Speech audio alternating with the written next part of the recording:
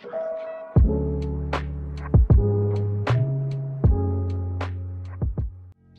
everybody, I hope you're all doing well. It's Luke Taylor here from ZCFX Trading.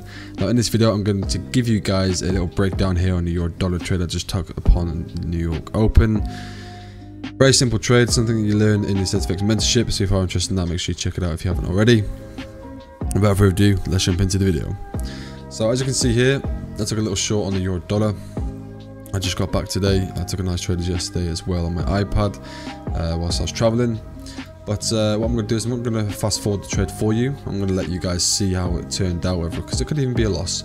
Uh, I'm going to see how, you know, see what you guys think uh, of this sort of type of video, so let me know, um, you know, send me a message or whatever. But yeah, I'm going to speed up after this little brief explanation. So as you can see here, we're overall heading short to the downside. Had a pretty bearish bias, we broke this breaker here, which is previous demand. Then on the flip side, we respected it with this wick here, and then we started to create a nice M1 supply chain And then I entered off the bearish engulfing candle closure. I was simply just looking to target into this low, which lined up with this overall H4 zone anyways. We'll just take a look here on the M1. Nice supply chain, this is something you, you learn in the ZCFX mentorship as well. Nice supply chain, entered off the bearish engulfing candle. Make sure you always wait for the candle closure because a lot of people rush into it when they see candle like come like this low and then it'll close back up above. So candle closure is very important. I did or may or have gone into a little bit of drawdown. May even be a loss, like I said. You don't know what it's going to be like. But it was a little, um, it was a little drawdown. Might be a loss, but someone's going to ask me, uh, how do you deal with drawdown? And the truth is, when it comes to dealing with drawdown, you just need to build more experience up. You need to get used to it. You need to sort of build the resilience to, you know, being in the minus. It's completely normal. It happens. It happens a lot to me. It's fine.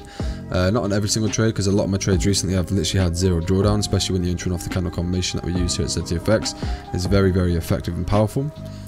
But it's um, important to understand that you need to build a, just resilience to it, and you need to sort of um, uh, through doing that, you need to just gain more experience and just placing more trades.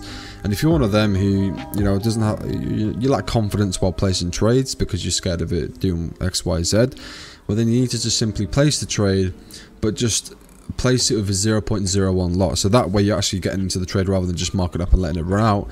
That way you're actually getting into the trade you're building up the confidence and also you're getting used to how the trade you know sort of plays out. And obviously if it's a win it's going to boost confidence up. If it's a loss yeah it's going to set you back a little bit but at least you're actually placing the trade. And placing 0.01 you're going to lose pennies so I wouldn't worry about that. So make sure you do that if you haven't already guys. That's one great way to build a confidence. But yeah without further ado guys I'm going to speed up the video now and I won't talk I'll just put some audio in the background and check it out see what you guys think and let's see if it's a winner or a loser